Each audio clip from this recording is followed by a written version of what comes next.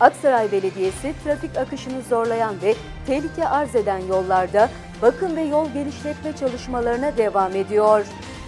Aksaray'ın her alanda ulaşılabilir bir kent olması hedefiyle köprü, kavşak, yeni yollar ve yol genişletme çalışmalarına hız veren Aksaray Belediyesi, trafik yoğunluğunun sorun haline geldiği mevcut yollarda yeni düzenlemeler yapıyor. Trafikte bir düğüm daha çözülüyor.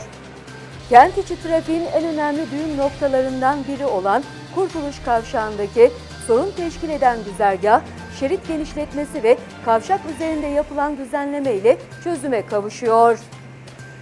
Ekipler Atatürk Bulvarı ile bağlantılı Kurtuluş Kavşağı'nda şerit genişletme ile birlikte yeşil alan düzenlemesi, bakım, onarım ve kaldırım çalışması gerçekleştiriyor.